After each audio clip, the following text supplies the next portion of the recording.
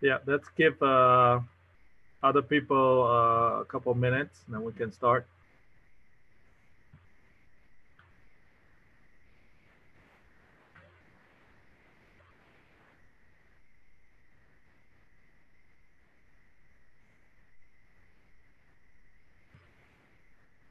Okay. So we have 11 people uh, here.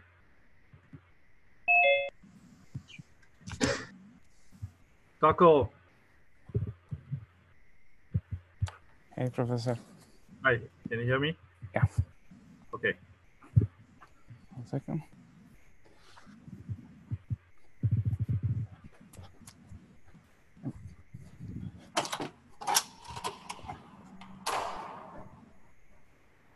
okay. 12 people already. Yeah. I think we, we should wait a bit. All right.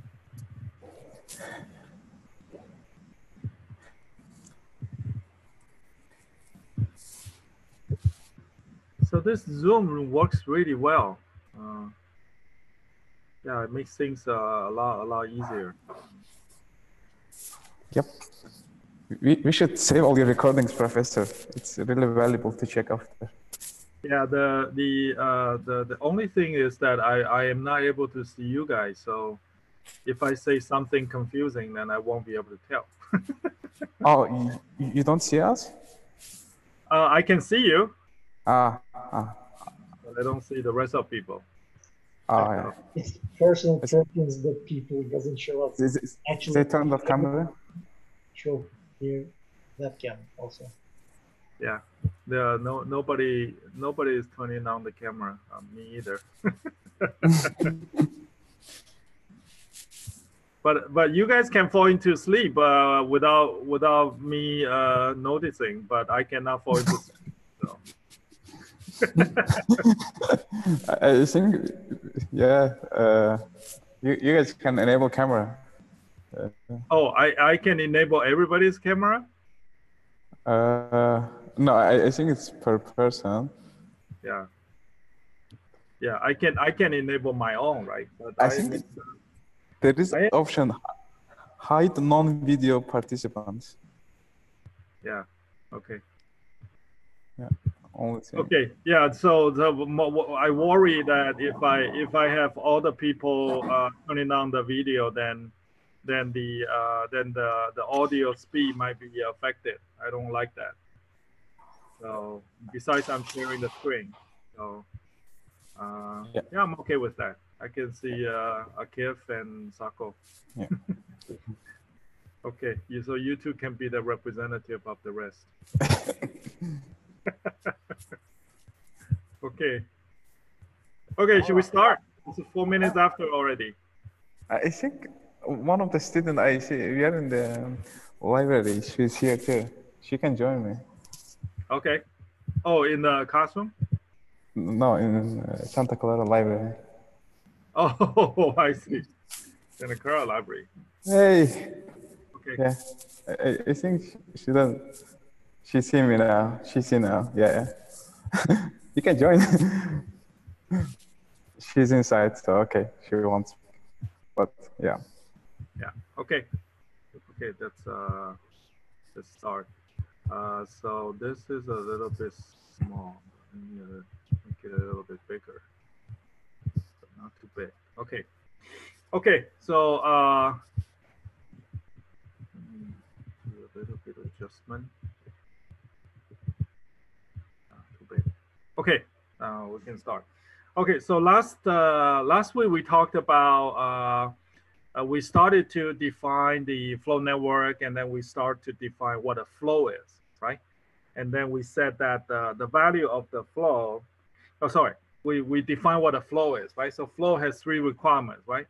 So you have to satisfy the so-called uh, capacity constraint and you have to you have to honor the uh, the flow reservation, right?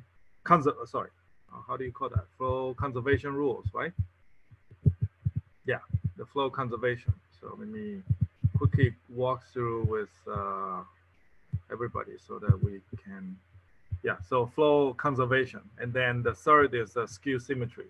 skew symmetry is saying that if you have a flow from U to V, then you can say there's a negative equivalent amount of uh, flow flowing from V back to U. Okay, so these two uh, these two uh, representations are equivalent. Okay, so these are the three uh, important uh, requirements for a flow to be the, that's the flow definition that we we are using in our discussion. Okay, and then uh, and then we use this uh, vertical bar to to represent the value of the flow, and we define the value of the flow as amount of flow flowing out of the source node, right? Okay, and then uh, and then we said that um, we have uh, some sloppy way to represent the flow, right? We use the set, okay? We use a set instead of, instead of uh, this uh, sigma form, okay, to represent the flow uh, from a set of vertices to a set of vertices and so on, okay? And then we went on to talk about the, the four very basic lemmas that we, we did not prove because they are more, they are rather intuitive and we use them actually to prove a lot of other things, right? So the first one is the flow from a set of vertices to itself is zero. And then uh, flow from a set of vertices x to a set of vertices y is equal to a negated uh, same amount of flow from the vertices y back to vertices of x, right? And uh, the the lemma three and four is just saying that if you have uh, the uh, flow uh, into a union of two sets or flow flowing out of the union of two sets, right? Then you can actually split the flow into two parts, right? Okay. Uh, so, and and the sum of that uh, will be equal to the original uh, flow, uh, as long as as long as these two sets are independent, okay, are disjoint, right? So then these two, these two lemmas will be uh, will be uh, true, okay. And then we, we went on further to prove the theorem that the value of the flow, which is the amount of flow flowing, uh, flowing from the source node into the flow network is equal to the amount of flow flowing from all the vertices into the sink by T, right? And we use this four lemmas uh, to prove it, okay? And then we show you this example as a, as a legal flow. So re the representation is again, uh, you have a, a, number colon another number. So the first number represents the flow amount, okay? The flow amount through this uh, edge. And the second number represents the uh, flow capacity, right? The, this edge capacity. The flow amount cannot exceed, okay, the flow capacity, sorry, the edge capacity, right? That's the our first requirement in the definition of a flow, right? So two and three is okay. If you have four colon three, then that's that's wrong. Okay, you cannot have a flow flowing through any edge uh, with the amount that is larger than the capacity. Okay, all right. So in this example, as you can tell, right, the flow out of the S, okay, flow out of S equal to four, and flow into T is also equal to four. Okay, and these two numbers are the same. Okay, and then we move on to talk about is this is this just a special case uh, for this equivalence that we just talked about, right? The, we just said that the flow out of S is equal to the total flow into T, right? Is this just a special case uh, for this equivalence? As a matter of fact, it is not, okay? So we further define this terminology called cut, okay? A cut is a partition of the vertices into two parts such that the source node is in one part and the sink node is in the other part, right? And you can see that I use the color to represent this partition. The pink color, okay? The pink color has two vertices. That's in the partition capital S. And the yellow color has four vertices. That's in the uh, that's in the uh, the set of capital T, okay? And the sink, the sink, uh, small t, needs to be part of the capital T and the small s, which is the source node, has to be the, um, the, the uh, set S, okay? And the S union T has to be equal to the original vertex set V, okay? So now with this definition, okay, then you can you can see that I can actually draw a line. I can actually draw a curve. Okay, so I can actually draw a curve. Oops. Uh, oh yeah. Uh, I'm sorry. I have to use draw. Okay, so you can actually draw a curve that actually goes around like that, right? So you see on the one side of this curve, you have, you have all the pink nodes, including the source node S. Okay, on the other side of the curve, you have all the yellow nodes represent capital T, and that includes the sink node, right? Okay, and then you can see that there are edges, okay? There are edges that, uh, that are cut, okay? There are edges that are cut by this curve that I just, that I just drew, right? So you see this edge is, is being cut, right? and this edge is being cut. And so is, so is this, so is that, and this, and that, right? So all these six edges are being cut by this curve, okay? Now we can look at all the, all the amount of flow flowing through these six edges, okay, from the capital S, meaning from the pink nodes, okay, to the uh, to the capital T, meaning the yellow nodes, right? So you see, I have a two amount of flow from pink to yellow, right? Another two from pink to yellow, right? And this one, I actually have the yellow to, to pink, okay? So when you add up the total flow across this cut, you have to minus this two, okay? Because it's actually flowing from, uh, from yellow to pink, okay? Here we need to count the flow from the capital S, okay, meaning the, the, the, the vertex set that includes the source from pink to yellow. We have to count the amount of flow from pink to yellow, okay? So it should be two plus two, and this should be counted as minus two, okay? And this one should be plus one, and this should be minus one because it's flowing from yellow to pink and this should be from uh, this should be two also because it's from yellow uh, sorry pink to yellow okay? So it's two plus two minus two okay? Plus minus two plus one plus minus one and then plus two right? So this net amount of this flow is equal to four okay? And as you can see that this four okay?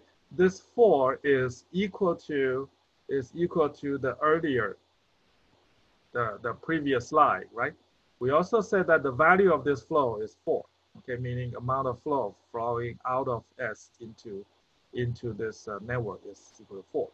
And also the total amount of flow flowing from the network into T is also equal to four. So four and four, and in this case, it is also four, right? Is it by coincidence that these flow amount, right? This flow amount are the same, okay? So the so the uh, so last week we said that no, it is not coincidence. Okay, it's not coincidence. It is actually a property. Okay, and that can be uh, that can be described. Okay, that can be described as uh, as uh, uh, uh, in this lemma. Okay, the lemma says that you for any flow that you're given, okay, on a flow network, okay, and you pick any cut, okay? You pick any cut S and T, okay? The cut definition I already explained to you, right? Is a partition of V into S and T such that source is in the capital S, sink is in the capital T, right? So that's called that's called a cut, okay? So given that any flow and any cut on a flow network, okay, we have this property. The value of the flow, which is amount of flow flowing out of S, okay, flowing out of the source node, is equal to the flow across this cut, okay? And this cut can be any cut, okay? So any flow amount, so the flow amount across any cut, okay, is a fixed value, okay, which is equal to the value of that flow, okay? And the proof, uh, I'm not quite sure if we went through the proof, but let's go through it uh, anyways, okay? So, uh, so the lemma can be proved as follows, okay? So let's let's look at the the uh, the flow across the cut, okay? So this left-hand side is the flow across the cut, okay? And this is equal to the flow from S to V minus flow from S to S, okay? This is following the lemma three, okay?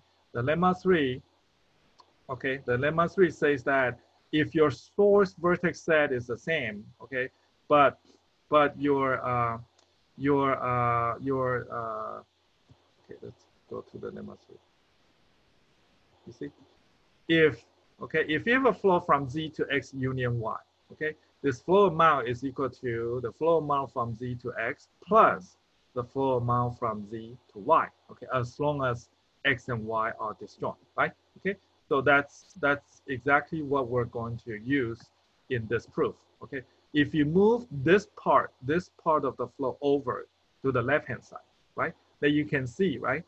S f of ss plus f of st, right, is equal to s f of sv because s union t is equal to v by definition of the cut, right? Okay, so that's uh, that's how this uh, this equation is established for the first one. Okay, and then by lemma one, we know that f s to s is equal to zero? The flow, the net flow from a vertex set to itself is equal to zero, right? So you can drop it. Okay, so only this f of s comma v uh, stays. Okay, now uh, now this f of sv. Okay, so you see that again, we use lemma four. S capital S is equal to the source node union. Okay, the the capital S minus the source node, right? You see S union uh, small s union with capital S minus small s is equal to the capital S, right? Okay, and they are disjoint, right? So the flow amount from here, S to V, is equal to small s to V plus capital S minus S to V, okay? So this is due to the lemma four, okay? If you want me to go back to here to remind you what we're talking about is this, okay? So union of x u and, and y to z is equal to flow amount of x to z uh, plus flow amount um, uh, from y to z as long as x and y are disjoint. Okay, so that's what that's what this this formula. Okay, this sorry this equation is established. Okay, because s union capital S minus S is equal to capital S. Okay, now, okay, so now look at this guy. Okay, look at this guy, capital S minus S. Okay, capital S minus S. Remember, the source node must be in the capital S, right? So capital S minus S includes all the vertices inside capital S that is not the source node. And and sink, sink is in T, right? Okay, so uh, so this capital S, capital S minus S include includes the vertices, okay, of the capital S, okay, that are not either, that are not, uh, that are not the source node nor the sink node, okay? So for each such node, for each such node, the flow amount from each such node to V is equal to zero by the flow conservation rule, okay? Flow conservation rule says that any vertex, the flow, the flow amount from any vertex to the entire V, right? As long as this vertex is, is not a source node or the sink, right? The summation must be equal to zero, okay? So each vertex in this set, each vertex in this set, if you do f of that v to, sorry, that vertex, that vertex, let's call that u, right? f of u to capital V must be equal to zero for all the u, for all the u inside this set, okay? So when you add, when you add all the zeros together, the sum is still zero, okay? Therefore, this, this this term can be dropped, okay?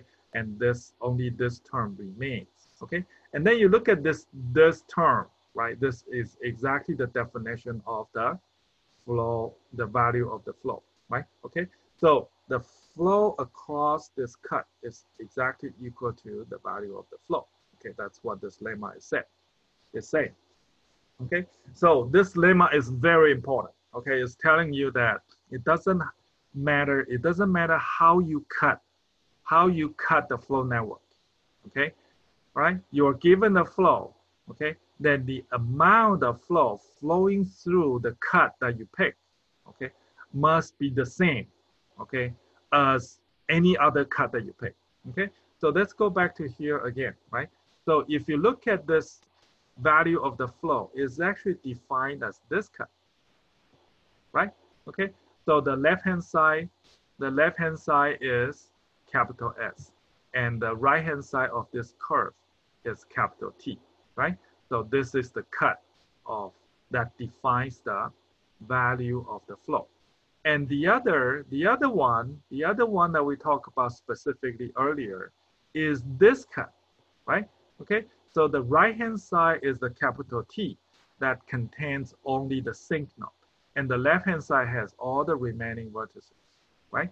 Now, crossing this cut, crossing this cut, okay, the flow across this cut, okay, is must be equal to the flow across this cut must be equal to the flow across this cut, right? So all the cuts, okay, that you can find, okay, the flow across it must be the same, okay, for any given flow you you you have, all right? So that's that's the conclusion, okay? That's the conclusion we we have learned so far, all right? Okay, so now we have talked about the flow, okay, the flow amount across the cut, okay? All right, then we also want to talk about what about the capacity of a cut, okay? Capacity of the cut, okay. So the capacity of the cut, okay, is defined, is defined as the capacity, the, the sum of the edge capacity, okay, crossing this, crossing this uh, cut, okay? So let's look at this again, okay? Again, this cut is here, okay? Right? As you can see, right? All the pink nodes, okay? All the pink nodes, there are two pink nodes. They belong to uh, capital S, okay? And all the yellow nodes, they belong to capital T. And source node, small s, is part of capital S. And the sink node T is part of capital T, right? Okay, so this is a cut, all right? All right, so now we want to look at the capacity, capacity of this cut, okay? So this is the way you count. You need to count those edge capacity for those edges from capital S to capital T, okay? You see that this is an edge, this is an edge from the pink to yellow, right? And the capacity is equal to two. And this edge is also from pink to yellow, okay? And the capacity is equal to three, okay? Now this edge is actually from yellow to pink, so you should not count it, okay? The capacity is, is not, you should not count it. And this edge is from pink to yellow, okay? So you should count the capacity one, okay? And this is from yellow to pink, don't count it. This is from pink to yellow, count it, okay? Professor, So your indicator is not shown. I think you are trying to show on the graph, but it's not shown. Sorry, can you speak louder? Your mouse pointer is not shown. I think you are showing notes, but we don't see it. Oh, you don't, you're not able to see the, Ar- arrow. you're not able to see the arrow. Yeah. Oh, I think it's the same as in 580 Pro. You need to make it big screen, full oh. screen, oh. I need to make what? full screen. F5. Full screen. Okay, let me see. Okay. Okay. Yeah. Now, if it is full screen, then I won't be able Yeah. to. Okay. Yeah, we see. You, yeah, are you still seeing my cursor? Now Now we we see. can see the red dot. Oh, I'm sorry. Gosh. Okay, No. were you were you able to follow what I said earlier? Kinda. oh my goodness. I hope that I don't have to redo it. okay, can we move on from here then? Sure, sure. Okay. All right. So okay. So so oh yeah. So you guys should, should let me know earlier so that uh, we can fix it. Okay. Anyway, can you see the dots? Yes. Okay. All right. So uh, again, as I said, okay, to count the capacity of a cut, right? You see this curve, right? This curve, this curve specify the cut, right? Okay. All the pink nodes, all the pink nodes are on one side of this curve, and all the yellow nodes are on the other side of the curve, right? And then so this curve basically separate these two uh, vertex sets, right? Okay. And so pink on one side and yellow on the other side. Now, let's look at the edges. Let's look at the edges that got that got crossed by this curve. Okay, so this is one, right? And this edge goes from pink to yellow. And this is another edge that goes from pink to yellow. Okay, and this this edge goes from yellow to pink. Okay, this goes from yellow to pink, so you should not count it. This is from yellow from pink to yellow, so you should count it. This is from yellow to pink, you don't count it. And this is from pink to yellow, you should count it.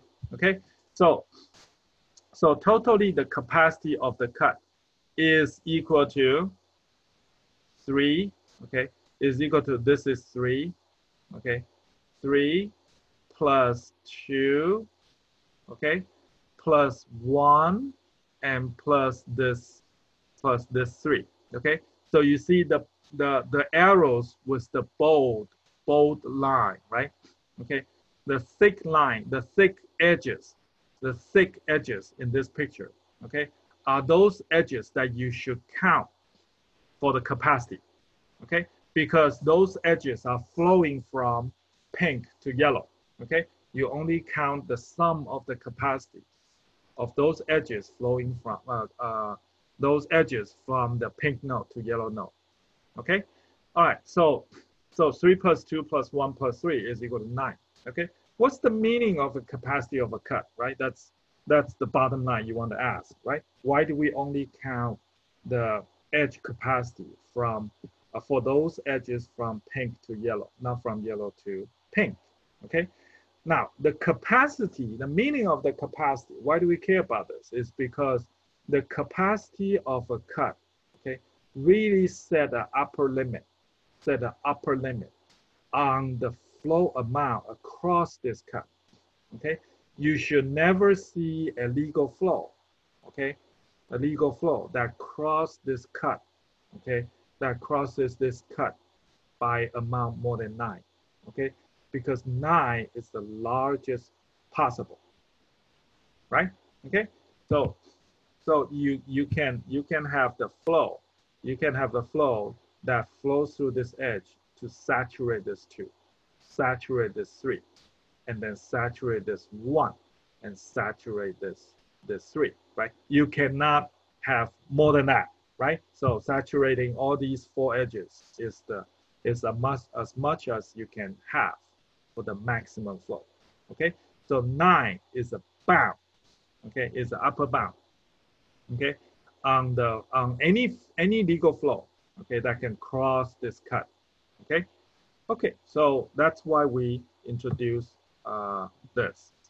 Okay, okay, so now this is why we want to define the capacity of the cut. Okay, is is this theorem. The theorem tells us that this. Okay, for the value, the value of any flow, okay, flowing through a flow network, okay, the value of any flow flowing through a network must be upper bounded, okay, bounded above, okay, must be upper bounded by the capacity of, of any cut, okay, meaning you pick any cut, you pick any cut and you calculate the capacity. That number must be an upper bound of any flow that can flow through it. Okay, so this is the this is a proof. Okay, so the left hand side is the value of the flow, right? Okay, is the value of the flow, and we have proved from the previous lemma.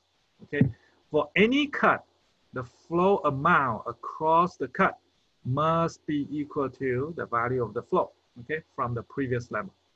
Okay, now the the this notation of f f of capital S to capital T is actually a sloppy notation. It's a sloppy notation of this, right?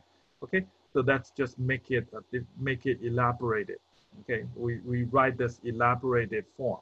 Okay, then this f of capital S to T is equal to summation of starting U inside S and summation of V inside T adding all the f of uv together. Okay, right? So that's uh, that's the flow amount across from S to T, right? Okay, so but remember in uh, in the in the flow uh, definition, we said that the, there is the there are three three requirements. The first requirement is that any edge, the flow amount through the edge must be bounded by the capacity, right? So this flow amount across this edge U to V, okay, across this edge U to V, must be upper bounded by the capacity of the edge UV, okay? So this, this is as simple as that, okay, due to the flow definition, okay? Now the right-hand side, which is this, is a summation of U in S, V in T, adding all the capacity together. This is exactly the definition of the cut that, sorry, of the capacity of that cut, okay? Of that cut S comma T, okay? So then you can see that the, the value of the flow, okay? The value, the value of the flow here, the value of the flow is upper bounded by the capacity of any cut there, okay? It's upper bounded by the capacity of any cut, all right? Okay, so now we know that given the flow network, okay? Given a flow network like this, okay? So you, so you take out, you take out the, the, the so don't, don't worry, if you don't worry about the flow in this case, you just look at the flow network, okay? You see I have a, you see that I have a capacity two on, on this edge, capacity three on this edge, and capacity two on this edge, and so on and so forth, right? Okay, so you see the edge capacities given to you, okay? Then you can draw, you can draw the cut like I, like I drew here. You can draw a cut like here. And then you can calculate the capacity of that cut, right? Okay, and as a matter of fact, you can actually you can actually uh, do uh, a, a, lot of cuts. You can actually also cut here. Okay, this is also a cut, right? This cut separates three vertices on the left hand side and three vertices on the right hand side, right? The small s is on the left hand side and the small t is on the right hand side, right? Okay, so this cut, okay, this cut that I just drew, okay, cutting right in the middle, okay, right in the middle. It also incur a capacity, right? So this is from S to T, that's two, sorry. Okay, so then for this edge from, from the uh, left-hand side to the right-hand side, so that's two. And here is from, also from the left-hand side to the right-hand side, capacity is three, right? And remember, from the, from the, uh, from the capital T to capital S, is not counted. So for this cut, okay, the capacity is equal to 2 plus 3, okay? So the capacity of this cut is equal to 5, okay? All right, and then remember we said that a, the value of the flow must be upper bounded by the capacity of any cut, right? Okay, so now here you have a capacity of 9, and the cut that I just defined has a capacity 5, okay? So any flow has to uh, has to be bounded by all the uh, capa capacity of all the cuts. Okay, so really what we're trying to find is what is the smallest capacity among all the cuts. Okay, because the capacity of a cut must be an upper bound of the legal flow. Okay, so the smallest capacity, okay, is also an upper bound. Okay, that means your maximum flow has to be smaller than that. Okay, so the bound nine, okay, the bound nine, okay, saying that your maximum flow has to be smaller than nine is not as meaningful as saying that your maximum flow has to be bounded by five, okay? Because five is a smaller, is a smaller number than nine and it's a stronger constraint, right? Because it's the upper bound smaller upper bound is a tighter bound, right? Okay, so that, that simply tells you that, okay, the largest flow from in for this flow network has to be smaller than five, okay? As a matter of fact, we could actually find, okay, we could actually find a cut, okay, that is simply four, okay? Where? Let me show you a cut that is, okay, so if you draw this cut, look at um, what I'm drawing. Okay, if you draw this cut, Okay. Now the capital S is on the left hand side. Okay, of the cut that I just drew, right? Okay, that has a small s, and the capital T is on the right hand side that has the sink node, right? Okay, so this is the cut that I just drew. Now you you count the capacity is equal to two, okay, and this one you should not count because this is from capital T to capital S, okay? Now this one is from capital S to capital T, you should count. So it's two plus two. There are only three edges that are that are cut by this by this cut that I that I crossed by this uh, this curved line that I just drew, right? Okay, there are only three edges. Two of them, two of them are flowing from capital S to capital T, right?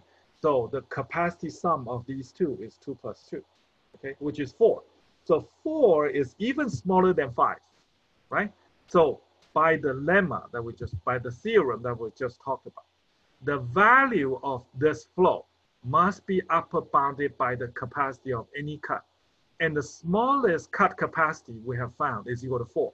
That means any possible flow, the maximum flow, must be bounded by four. Four is the largest possible. Okay? Uh, are we okay on this? Okay, this is very, very important concept. Okay, so the maximum flow must be bounded by the capacity of any possible cut. Okay, all right. So the goal, so the goal is to find the cut with the minimum capacity because that would be the tightest upper bound of your maximum flow amount. Professor, okay? can you go the uh, previous slide? Yeah. Here, uh, the yellow on the left side, the you know the source node coming out of it from with two and two. So uh -huh. there, there is also another arrow which we don't count going to the the other yellow with three. So we don't count it because it's not inside our cut boundary. But you're talking about this one? No, to the right.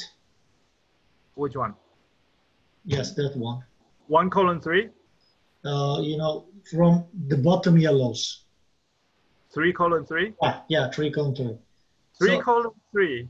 Three. Which cut are you talking about? Are you talking about this vertical cut, or you're no. talking about the late, the latest one that I drew? Yeah, yeah. The latest one that I drew, the latest one that I drew is actually here. Is actually this one, right? Yes, but uh, this, this one does not cut. Does not cut this edge. That's true, but what I'm wondering is right now in the latest cut we are we find out that the maximum capacity can be four because the cut boundary going out from source to the sink only the output uh, capacity is four, right? Four, yes. That's a that's a minimum capacity. That's the smallest capacity of of the of the cut. Yes. But uh, the bottom nodes there is another uh, you know, let's say if five is coming out of source because we have a capacity coming out, you know, the source can push five. Okay. Okay. So and, yeah. Okay. You're saying that you're saying you have a flow of five that saturate this this edge and saturate this edge, right? But in this case, let's think about that three is not going to the upside, but let's think that three is coming from the downside and uh, right now, we can actually, some of those flow can go to the right side with, you know, three column, comma, three, and should maybe uh, will not saturate the cut. Uh, I couldn't explain what I'm, so the okay. th three comma three is actually taking some part of that burden from that Yes, I understand. I understand what you're trying to say. Okay, but okay, but if we look at this cut, focus on this cut. Okay, let's focus on this cut. Okay, now you you think about you think about the flow flowing through this cut. Okay, the flow, whatever flow that you that you need to flow from the source node to the sink node. Okay, whatever flow you want to flow from small s to small t that flow has to cross this cut, right? Has to cross Yes. this, this cut that I just drew, right? Okay. All right. So now, if you agree, if you agree the capacity of this cut is equal to 2 plus this 2, okay, that's 4. Okay? Right. Then that's the largest possible you can get, right? Right. You cannot, if you have five, let's say if you have a totally five amount of flow flowing across this cut, then somewhere along the edges, okay, there, there must be a capacity constraint violation. Yeah, you're right. I mean, in, in my case, I forgot that I increased that source capacity on the downside to three, then the cut capacity would be five. Yeah, okay. Okay, I got Okay. it now. Okay, good, good. Okay, so this is a very important concept. Okay, why do we care about the cut capacity? Because the cut capacity is uh, upper bound, okay, of the maximum flow, okay? And we are interested in finding the cut that has the minimum capacity, okay? Because the minimum capacity is the tightest upper bound, right? Is the smallest upper bound, okay? That will bound your maximum flow, okay? So we're interested in finding the cut with the minimum capacity, okay? And there is a name, there's a name for that. So that kind of cut is called minimum cut, minimum cut. So when you hear people talking about maximum flow, minimum cut, okay, they are talking about exactly this relationship, okay? The maximum flow must be upper bounded by the minimum cut, okay? So that's what this theorem, okay, is all about, okay? All right, so now we're going to move on to talk about how we can find the so-called maximum flow, okay? That's the whole purpose of this lecture. We want to solve the maximum flow problem, okay? And you remember the example I gave you, right? The matchmaking, matchmaking example, right? And the professor, uh, assignment of the professor to teach in the classroom. That is another example, right? Those examples are the examples can be solved using the maximum flow algorithm. Okay, okay. So now this is where we want to learn how to solve the problem. Okay, all right. To explain you the algorithm, to explain you the algorithm, I need to uh, in, uh, introduce this uh, this terminology called residual residual network. Okay, residual network. All right. What what is a residual network? Okay, okay. So that's it. Let's think about this. Okay, suppose you are given a flow network G. Okay, you're given a flow network G. Okay, and on this flow network, you already have a flow. You already have a flow there. Okay, okay. Then, then we can define. Okay, so given the flow network G and a current flow F, we can define the so-called residual network, which is a property of the original flow network and the current flow F. Okay, okay. So G sub F is a is a residual network. Okay, so this this uh, this network has the same vertex set V as the original network. Okay, but the edge set the edge set is different. Okay, the edge set is different. Okay, all right. So the edge the edges in the residual network the ed- edges in the residual network. Okay, are those edges are those edges in the original in the original network whose capacity has not yet been saturated by the flow? Okay say one more time. If you have an edge uv if you have an edge uv in the in the flow network g right? Okay and the capacity is c for that edge and the given flow f okay given flow f has a flow value flowing through this edge. Now, if the capacity is larger than the current flow, okay, flowing through this edge, that means the capacity is not yet being saturated, okay? So, so capacity minus the flow is a positive number, is a positive number, right? Okay, then any such edge, any such an edge, okay, will be an edge in the residual network. Okay, does that does that make sense to you? Yes. Okay, then say one more time. Okay, you are given the flow network G, okay, with vertices and edges, and you're also given a flow on this flow network now. Okay, you go to every edge in this flow network, okay, and look at every edge UV. If the capacity of the edge is larger than the current flow amount flowing through this edge, is larger. Then in the residual network, there is an edge. There is an edge in the EF, okay? In the EF from U to V. Okay? So so the so the reason we call this residual network simply simply to re, simply uh, to reflect the fact that there is still some residual capacity that we can push more flow, okay, through this edge. Okay, so why do we say residual? Okay, simply because of that. Okay, the capacity has not yet fully saturated, okay, by the current flow. Okay, so you could push, you could push the flow across this edge. Okay, and that's why we put an edge in the residual network. Okay, all right. So here, here's an here's a very uh, here's an example.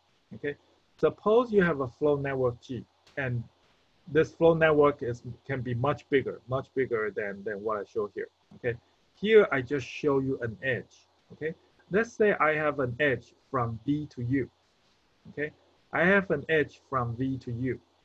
Okay, and the edge capacity is five and the current flow amount is 3. That means there is an amount of 3 flowing from V to U. Get it? Okay? All right, so now, based on the definition, the capacity is 5. The current flow amount is 3. So how much more can you push from V to U? There are two more, right? Okay? There are two more amount of flow you can push. So in the residual network, in the residual network, there is an edge from V to U okay, with the edge capacity equal to the original capacity minus the current flow, which is equal to two. Okay, so this residual network is saying that for this edge, you can push two more amount, two more amount of flow from V to U without violating the capacity constraint. Are you okay on that? Yes. You okay on that? Okay. Now, the the the important part is is this side. Okay? The important part is this side. Given the g on the left hand side even the g on the left hand side for the gf for the residual network on the right hand side we should also add another edge from u to v okay? From u to v with the with the capacity amount with the capacity amount equal to the current amount from V to U. Okay, so this three, this three comes from the fact that there is currently a flow amount of three from V to U. Okay, in that case, you set a, an edge in the residual network from U to V with the amount of three. Okay, now, can anybody tell me why? Why we why we can why we can add this edge and push amount of up to uh, uh, three unit of flow from U to V. I'm just my guess because there is an already an occurring flow from between U and V, and we are not using it to transmit from U to V. So in the residue, we want to show this. No, okay, no. The the the the, the okay, the, the, that's a good attempt. Okay, good attempt. The, the the better way to say is this. Currently, the flow is from V to U with three amount of flow from V to U, right? Okay, there's three amount of flow from V to U. Okay, now when you push, when you need to push the flow from U to V, okay, from U to V, because currently there are three amount from V to U you can at least revert you can at least revert this three amount of the current flow back to zero. Right? Okay? Okay? So that that's what that's what it means that because of the current flow, because the current flow has the three amount three amount of flow from V to U, you could actually push the flow from U to V with exactly that amount to push back this and back to zero. Okay? So, so that's why we have the residual edge from U to V with the capacity equal to three. Okay? You cannot push more than three. Okay? Because if you push more than three from U to V, you revert these three amount, you are adding some additional flow from U to V. But U to V has no edge. That means the capacity is zero. So if you have an additional amount from U to V, which is greater than zero, then you are violating the capacity constraint. Right? Okay. So the amount of flow you can push, given the fact that there is a three amount of flow from V to U, the amount of flow you can push from U back to V is exactly equal to that amount to revert it. Okay. To revert this back to zero. Okay, and so that's why you have the three there. Okay. Can can you explain the last uh, sentence that you cannot do U to V? Can you explain? Oh yeah, yeah, yeah. yeah. Give, give me a sec. Give me a sec.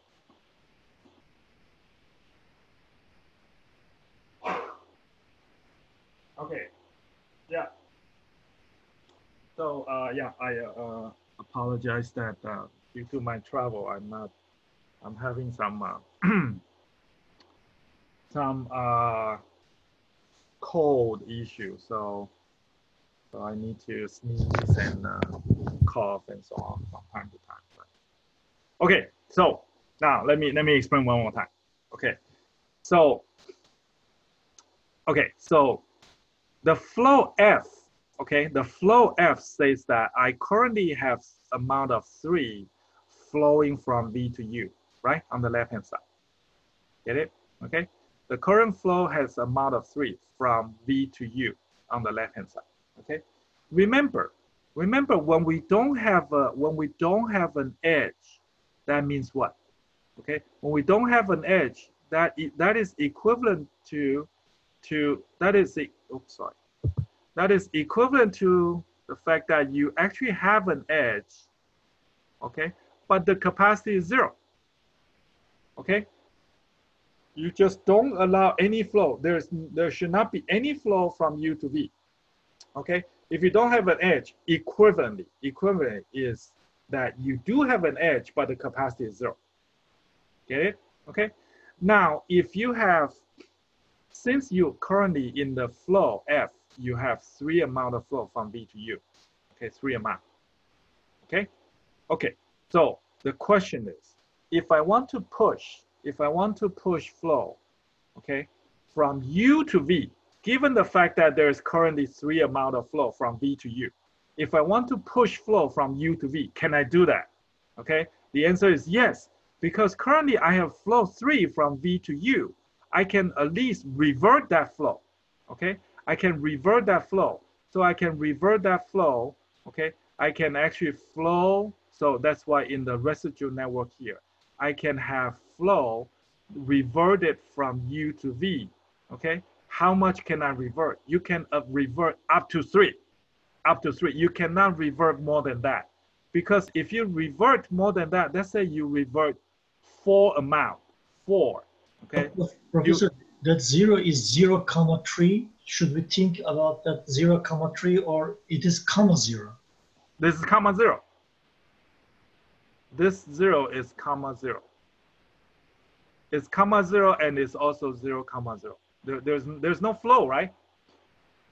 But From, isn't this a you know normal and possible scenario that you, you know there are uh, you give an example of traffic lanes there can there can be a path from V to U and we can push three flows there but maybe yeah. we, we do not allow U to V so why we cannot have you know zero, zero capacity uh, zero, sorry, zero capacity. So there's no edge. No edge is equivalent as there's a zero capacity. Okay, there's no edge, Be, meaning you cannot. The, the reason the reason that there's no edge means that you are not allowed to push to push the flow from U to V. You, you cannot have a you cannot end up you cannot end up having a net flow from U to V. Currently, currently there is a flow from V to U with three amount. Okay, with three amount from V to U. Okay, V to U. Okay, under such a condition, okay, if I want to push flow from U to V, I could do it. I could do it. I could push the flow to revert this three so that this is so that this is no longer three. Okay, I can revert how much? I can revert up to three. I can revert up to three because if I revert more than three, let's say if I revert revert four, then my net then my net flow from U to V will become one. Will become one, and this will become zero. Okay, this will become zero, and that will become one. But this capacity is actually zero, so I have a violation here.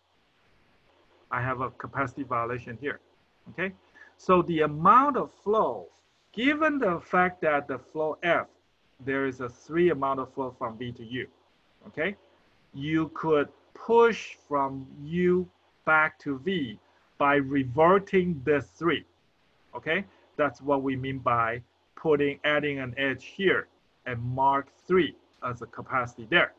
Okay, so I, I don't know. Uh, I have I, I feel that I am being I have been repeating myself uh, already. Uh, either you have a question to ask or I have to move on. No. It should be okay, right? Yeah, it's okay. okay? Yeah. So currently, and let me say uh, the, the last time, right? Currently in F, I have a flow amount of three, flow amount of three from V to U. Okay. Okay. From V to U. So I have this three amount of flow from V to U. Now I am asking the question, if I want to push the flow from U to V, okay, from U to V, okay, how much can I push? I can push three because the, that three, I can revert this three amount, okay? I can revert this three amount, okay? So that means I can push the amount of up to three from U to V, okay, without causing without causing the flow to be illegal. Okay, I'm I'm changing the flow by pushing up to three amount of flow from U to V. Okay, so that's this three is all about. Okay, okay. So given such given such a graph on the left hand side, okay, given such a graph on the left hand side, there was there is also one edge now you look at the edge, look at the graph on the right hand side. You could actually end up having two edges, two edges instead of one. Okay, so so and this is actually a general uh, a general uh, property. Okay, in the sense that the number, the total number of edges, total number of edges in the residual network, okay, must be must be upper bounded by two times the number of edges in the original flow network. Okay, because in this example, this is in this example, you see, in the flow network, I only have one edge, but in the residual network, I actually end up having two edges. Okay, so that's that's possible. That's quite possible. Okay, and so so but okay, but if this is not three, let's say if this is zero, okay? If this is zero colon five, then the residual network will be five. This will be five. And there's no such edge because it's zero. Okay, if this is zero, there's there's no flow you can push from U to V. You cannot push. If you because if you push, then you you are you are adding the flow. Okay, the net flow, the net flow will you will have a net flow from U to V, but there's there the, the capacity is actually zero from U to V. Professor, last question. What would happen if the upper edge is 1 comma 1 and the lower one is 3 comma 5? is No, no, no, no, no, no, no, no. Uh, uh, okay, if, if you remember in the second slide in this lecture, we said that we said that in our discussion, the flow network between any pair of vertices, okay, there's only one edge, either go from one side to the other or the other Oh, side. oh, oh, okay. Right. Remember that? Okay, so we, we don't, and because whenever you have that, you can you can uh, transform. You can transform without without changing the without changing the uh, the solution, right? Okay, so So that rule doesn't uh, doesn't work on the residual uh, network because on the residual we have two edges. between- oh yeah yeah yeah yeah no no you're right. So residual network is not is not limited by that. So that that the limit that uh, uh, I wouldn't call it limitation, right? That uh, that uh, uh, specification is is the specification for the flow network. Okay, is Okay. is a is is for this flow network, not for the residual network. Residual network you can easily have the have have the double double edges. Okay, all right. So so the lemma. Okay, so this lemma. Okay, is also an important property. We should also know about it. Okay. All right. So okay. Now here's the practice. Okay, let's practice. Uh, let's practice how uh, we can construct the residual network. Okay. On the top, on the upper half, right? You see the flow network with the flow. Okay. Right. This is capacity three, flow one. Right. Capacity two, flow two, and so on. Okay. So this is a flow network with a legal flow there. Okay. On the upper half. Okay. Now we're going to construct, we're going to construct the residual network based on that. Okay. So you see the residual network has the same set of vertices. Okay. But the edges, okay. Look at the edges. Okay. Now let's look at this this one from S from S to U. Okay. S to U is one colon three. Okay. So you see from this S to U, the capacity is three. You're only using one. So you can increase another two, right? So this direction has a capacity two, okay? But because you currently have a flow one from S to U, so you could actually push another flow back from U to S to offset this, okay, without causing the capacity constraint violation. That's why you can have this edge, okay, there's an edge from U back to S with the capacity one, okay? That's okay meaning if you push a flow from U to S in your residual network with the capacity one, that, equ that is equivalent to reverting this one from one back to zero, okay? So which is totally okay, okay? And you, but you cannot, you cannot push more than one because if you push more than one, then, then the net flow, then the net flow will be a positive flow from U to S which is not allowed because U to S has no edge, okay? All right, so the same thing is here, okay? Here from X to U, I have capacity three and one. So because you only consume one, so you can push two more, right? So you see from X to U, you have two more. And because of you have a flow amount of one to one from X to U, so you can push back from U to X to revert this one, okay? So that's why from U to X, you can have one okay? And so on and so forth. Now let's look at this this s to x right? So you already have two and two okay? So from s to x there's zero.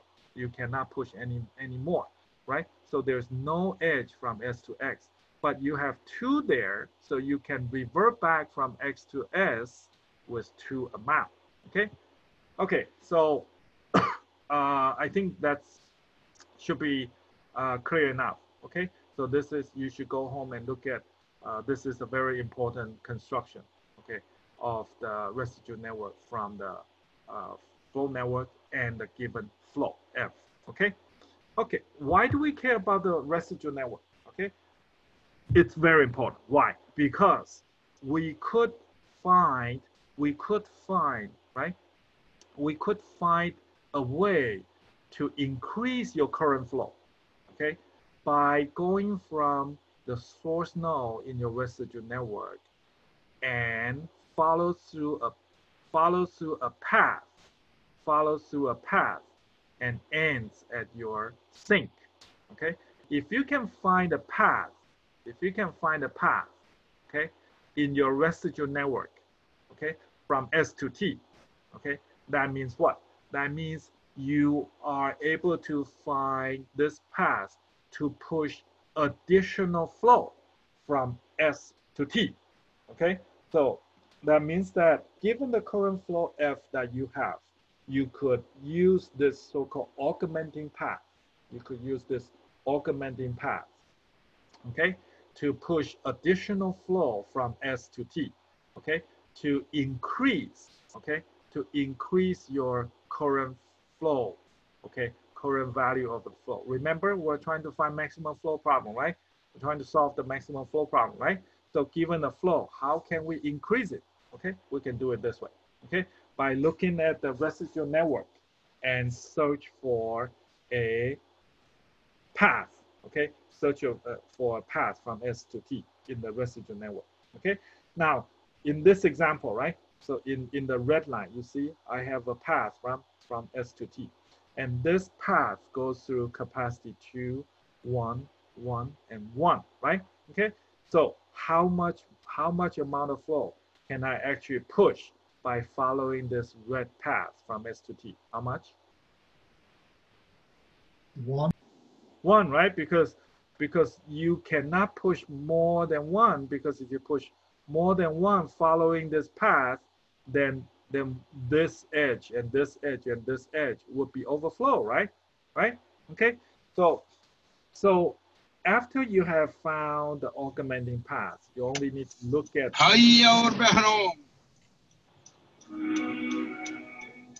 Hello? Okay. Hello? Okay. So then all you can, so once you have found this, once you have found this path, right? You look at all the residual capacity, residual capacity along this path and and identify the one with the smallest residual capacity. That would be the amount of flow you could push from S to T following this augmenting path, okay? All right. Okay, so so now in this example, okay, so the current flow, the current flow is is shown here, okay, is shown here. Now if we follow this, okay, if we if we follow the if we follow if we follow this this augmenting path and push and push flow of one over, okay, then this will become the new flow, okay, this two two two zero two zero two one three one. Okay, this will become the new flow. Okay, how? Let's let's quickly compare, right? So before the augment, remember the augmenting path? Remember the augmenting path is from here to here to here and to here, remember? Right? Okay, okay. So you see, I the currently is one, okay? Now I push another one, so this will become two, okay? Now here, originally is from X to U, I have one. Now I push one, so this will revert back to zero, okay? Same thing here. The current flow have a flow of one from V to X. Now I'm pushing one from X to V, so this will become zero. And currently I have V to T with the flow amount of two. Now I push one more, so it becomes three and three, okay? So you see, you check here, you see, two, three, zero, three, zero, one, and three, three, okay? So that's how you modify, that's how you modify the flow and become this new flow, okay? And now since you, since before, before this augmentation, the value of the flow is equal to three. Now, after you have add one amount of flow from S to T, you see, now the value of the flow has become four now. Okay, has become four now. Okay, so that's how you you can use the residual network to identify the augmenting path. Okay, and push the flow from S to T, following the augmenting path to increase the flow. Okay. Are we okay? So this is how, this is how the algorithm works. Okay. Okay. Now we need to talk about uh, we need to talk about uh, this the most most important theorem. Okay, of this entire lecture. Okay, it's called maximum flow minimum cut theorem. Okay, this is the most important uh, theorem you need to you need to know. Okay, of the entire lecture. Okay, the theorem says this. Okay, I have three statements here. Okay, one, two, and three. Okay, these three statements are exactly the same. Okay, these three statements are exactly the same, meaning if one is true, the other two are also true. If one is not true, the other two are also not true. Okay, they are totally equivalent. Okay, the first one is, the first one is if f, the first one is that the flow f, okay, flow f is a maximum flow. Okay, the second statement says that flow f, okay, has no augmenting path in the residual network. Okay, statement number three is the value of the flow is already equal to the capacity of some cut. Okay, the capacity of some cut. Okay, remember earlier we said that the capacity of a cut must be an upper bound of any legal flow. Remember, right? Okay. Now, if your flow has already achieved to your upper bound, that means you cannot add any more, right? If you add any more, then there must be some violation. Okay, so so you see, three is is kind of intuitive, right? If your flow has already achieved to the to the upper bound, right? And so that means F is already maximum. Okay, and the second one says that in your residual network, you won't be able to find the augmenting path. Okay, so these three are exactly identical statements. Okay, so we're going to prove them. Okay, and these three are very important. Okay, because we're going to come back to that algorithm that we just talked about. Okay, the the algorithm to construct the residual network, finding the augmenting paths, push additional flow, and so on. Right. The question is, when do we stop? Right. The question is in that algorithm, that algorithm, you already got a pick, you already got, you should already got uh, some idea, right?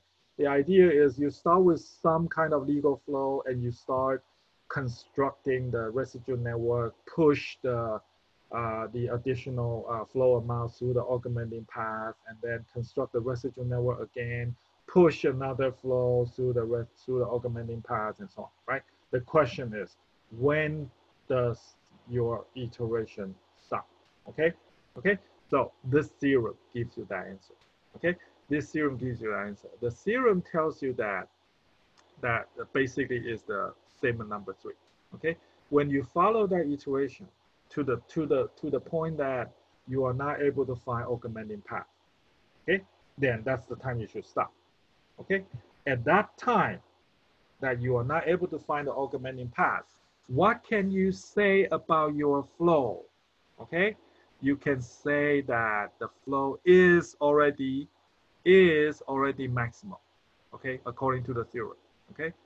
The flow is the maximum flow and the flow must have must be equal to some min cut capacity okay? So these two these two uh, property can be can be claimed for the flow okay that means you have solved the problem right because we're solving the maximum flow problem. Okay, so all right, so now I need to prove it to you so that the whole story is complete, right? Okay. All right, so how do we prove the theorem? Okay, so we're going to we're going to follow this this uh, order. We're going to prove if one is true, then two is true, and then we prove if two is true, three is true. And then we're going to prove if three is true, one is true. Okay, then that's a cycle. That means they are all equally true or equally false. Okay, okay, so that's how we're going to proceed. All right, so the first one, if one is true, then two is true. Okay, so that means if your flow has already been uh, has already e is already equal to the capacity of some cut. Okay, is equal to capacity of some cut. Okay, then this flow is maximum flow. Okay, the proof is this okay? the proof is that since the the flow, okay, from the from the earlier uh, lemma, right?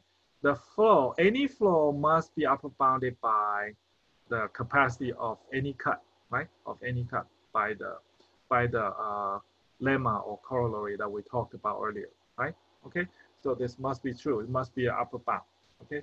So now if it is already equal, okay, statement number one says that it is already equal. Okay. That means that f has already reached to the bound, right? Okay. So it's the maximum, obviously. Okay. So one to two proof is easy. Okay. Now two to three, if f is a maximum flow, okay, then f you are not you should not find the uh, augmenting path in your residual network. Okay. All right. So proof is also very easy. If you are able to find the augmenting path in your residual network, okay, then you can follow that augmenting path to push additional flow through and increase your flow. Okay. Therefore, your F is not maximum. Okay. So by contradiction, by contradiction, you should not have an augmenting path. Okay. So two to three is also very easy. Okay. Now we need to prove three to one. Okay. Three to one says that if F has no augmenting path, okay, in your residual network, you cannot find augmenting path. Okay. Then we're going to prove that the flow has already reached to the capacity of certain cut. Okay, three to one. Okay, going to prove as follows. Okay, okay. So three three says that if flow has no augmenting path. Okay, okay. So we look at the we look at the residual network of that F. Okay, we look at the residual network of that F. Okay, and then we we start from the source node S okay, start from the source node S, okay? Let's say we do DFS, okay? We do DFS, okay? In the residual network, remember in the residual network, we do DFS from S to find all the vertices, to find all the vertices reachable, okay? Reachable in the residual network, and we call that as capital S, okay? And the remaining vertices are the vertices in T, okay? So we have S and T, okay? So, so S are all the vertices reachable from S in the residual network, okay? And T is the remaining vertices. So S union T is equal to V, okay? So this is, this is a partition, okay? And also observe that capital S is in S because source node has a path to itself. Right? So this, this source node must be in capital S. And sink, okay, sink must be in capital T, okay, because there is no augmenting path. There's no augmenting path from source to sink, right? So T should not be reachable from source, right? So T should be in capital T, okay? Okay, so then therefore S and T is a cut okay, is a cut. Okay, now let's consider the following, okay? Let's consider a vertex in capital S, okay? All the vertices reachable from source node in the residual network, okay? And V is in the in capital T, okay? Not reachable from S, okay? All right, so therefore we must have, we must have the residual, the resi this is the residual capacity, right? The residual capacity of this UV, okay, of this UV must be zero, okay, must be zero, meaning what? Meaning this edge must be saturated by the current flow, by F, okay? Why? Because if this is not zero, if this is not zero, that means it has to be greater than zero. Capacity can never be negative, right? That's that. That's all be uh, be reasonable, right? Capacity will never be zero, be negative. So if it is not zero, then it must be greater than zero. If it is greater than zero, if it is greater than zero, then V must be part of capital S because V would be reachable from S, okay? So V should not be in T, okay? V should not be in T, okay? So, but we assume V is in T, okay? So this cannot be true, okay? The, the residual capacity from U to V cannot be greater than zero, must be equal to zero, okay? Okay, that means the flow must, current flow F must have saturated this capacity, right? F of UV must be equal to C of UV, okay? Okay, All right, now, if we do this, if we do this analysis for all the U and all the V, okay, for all the U and all the V, okay, so that, and we add all of the flow together on the left-hand side, okay, and add all the uh, capacity together on the right-hand side among all the, among all the edges that are being cut through, they are being cut by this cut, okay? Then the left-hand side will be, oops, then the left-hand side will be the summation. Summation of all the flow, summation of all the flow crossing, crossing from capital S to capital T, okay? And the right-hand side, right, okay? And the right-hand side of this equation will be equal to the total capacity, the total capacity of the cut. Okay, okay. So if you summing, if you summing this, if you summing this equation, summing this equation, okay, for all the possible UV pair, okay, such that U is in S, V is in T, okay, for all the UV pair, then the left-hand side will be equal to the total flow amount across the cut and the right hand side will be equal to the total cut capacity, okay, across the cut, okay? Okay, so that means what?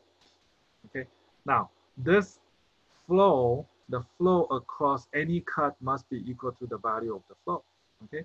So the value of the flow must be equal to this cut capacity already, okay? That is the number one statement. The number one statement is that the value of the flow is equal to some cut capacity has reached to the minimum capacity. Okay, okay. So that's what this, so how we prove if three is true, one is true. Okay, okay.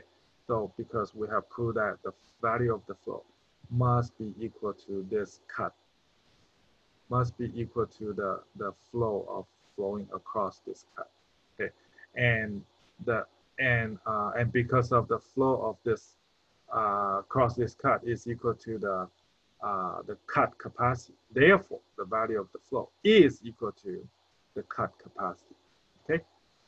Okay. So these three statements are proved. Okay. So now the way to use this this uh, theorem in our algorithm. Why do we need this algorithm? Okay. Sorry. I'm sorry. Why do we need this theorem? Why do we need this theorem? Is because in our algorithm that I just talked about, we start with some some legal flow, and then we find the residual network, and we find augmenting path, we increase the flow, okay? And then we find the residual network again, find the uh, augmenting path, increase the flow, and then find the residual network, find the augmenting path, increase the flow, and, and do this iteration over and over and over again until when, right? When do we stop? okay? We stop when you are no longer able to find the augmenting path, okay? That's the time you stop, okay?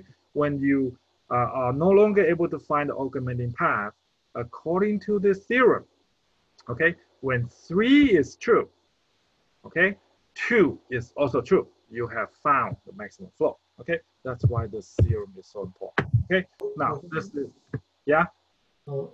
I think we can have uh, multiple augmenting paths, right? Yes. Yes. So we select the augmenting path which gives us the maximum flow. Okay, well, okay, so that's a very, very good question. So when you have, uh, as a matter of fact, we're going to talk about how to select the augmenting path also, right? You, so you're, you're, you're totally correct there are given a uh, given a residual network in general, you can find many uh, many different augmenting paths. Which one would you choose? Okay, so which whichever one you choose, you're going to increase the amount of flow by the minimum edge capacity along this path. Right? Remember that. Right? Okay. You find the edge with the minimum residual capacity. You can only increase that amount. Okay.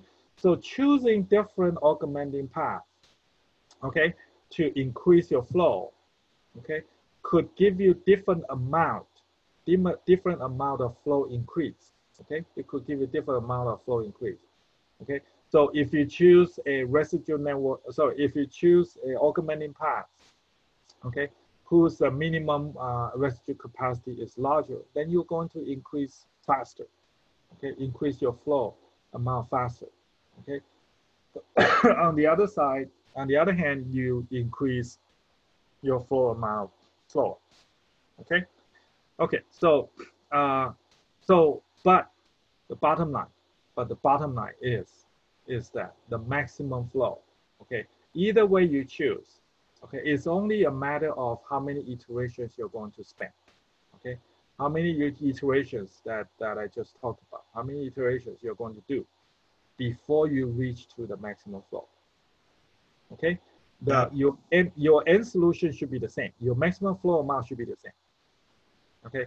But following different augmenting paths, sequence, sequence, right? You could have different pace, different pace of reaching to that maximum flow, okay? That's a very good question. Okay, I, uh, I, I should consider putting that as uh, one of the final exam question. it's a, it's a good question. Okay, so I hope this clarify what you, what you, uh, what you think. Thank you. Okay, so so now this is the, uh, the, the, the, first famous uh, maximum flow algorithm. It's called Ford Fulkerson. Okay, so you should also remember the name, right? Okay, Ford Fulkerson. Okay, like Floyd Warshall, right? Okay, and so Ford Fulkerson, right? Or Bell, uh, or uh, uh, remember the Dijkstra algorithm, right? Okay, and so on. So all these are the the uh, important names that you need to uh, remember. So Ford Fulkerson is the first algorithm that solved the maximum flow problem. Okay, idea is quite simple. You start with the flow, you start with the flow that has every edge flow amount is equal to zero. Okay, all the edges, all the edges has zero flow. Okay, is it a legal flow? Of course, zero flow would never violate uh, would never violate the capacity constraint right? Zero flow everywhere would definitely honor the uh, flow conservation, right?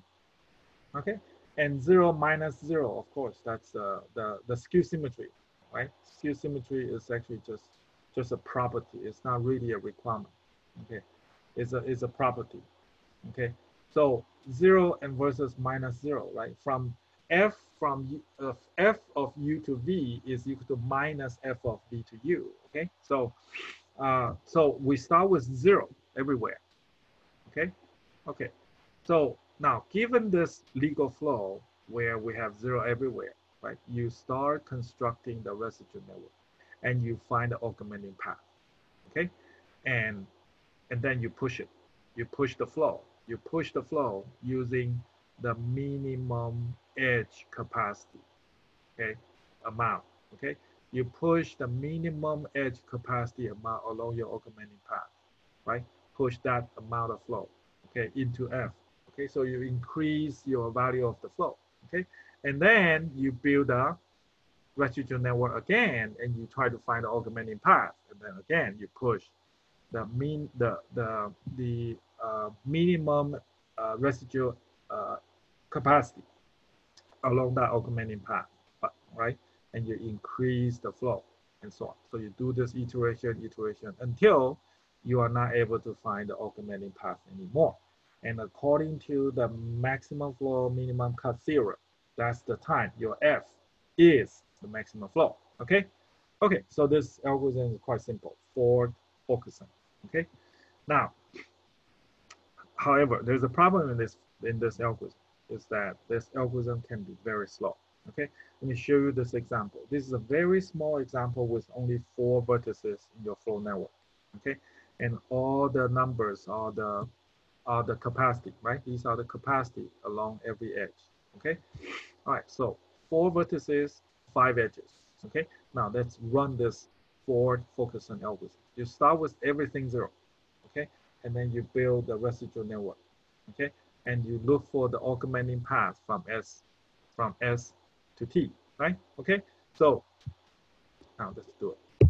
Okay, so you start with everything zero, okay? And then you find the augmenting path. This red line shows you the augmenting path that we're going to push the flow, Okay, increase the flow, right? How much amount of flow can you increase? One. Yeah, one, right? So remember this edge, the capacity is 1 billion, right? Okay, and this is 1, and this is 1 billion, right? Okay, so this edge, the residual capacity is only 1. You can only push from 0 to 1, right? Okay, this is 1 billion. Okay, this this residual capacity 1 billion, this residual capacity 1 billion. But remember, we said that you have to use the minimum residual capacity to push, right? Okay, so you could only push amount of one through this path, okay? So you get this picture, okay? So you see one and, and you, you see one and one and one there, okay? And then you construct the residual network, right? Okay, residual network, so this will become, okay, so you had you had this one, right? Now residual network has 1 billion. This is one, okay? I, I already explained why this is, why there is a residual capacity one there, right? From, from, the, from this node to that node, because there is a current flow of one from top to bottom. You can have the reverse flow of the same amount from bottom to top, okay? And this residual capacity is also 1 billion, right? So from S to T, okay, your augmenting path will become this, okay? So again, you push how much? Also one, right? Okay, so you push, so this become one, this become zero, and this become one, okay? Now you see two iterations, you only increase, okay? This to one, this to one, this is zero, this is to one, this is to one, right? But the obvious, the obvious answer, the obvious answer for this maximum flow problem is what? Is is what? You have 1 billion amount of flow from S to T following this path. And also 1 billion amount of flow from here following this path, right? Okay, going going the going the path on the top, okay, is 1 billion, right? Because capacity is 1 billion, capacity 1 billion. So you can push 1 billion this path and 1 billion this path. So so the maximum flow in this example is 2 billion, right? 2 billion, okay? But in here, we need to run so many iterations, okay? Because, because as I, as I just did, right? Two iteration, you only increase to one? Two iteration, you only increase to one. So this, this, um, this flow is equal to one plus one is equal to two, right? each iteration you push flow of one. So you need what? You need 2 billion iterations because the maximum flow amount is 2 billion. So you need to run 2 billion iterations, okay, uh, for this small design. Okay, so this this can be disastrous, right? Could be very, very bad.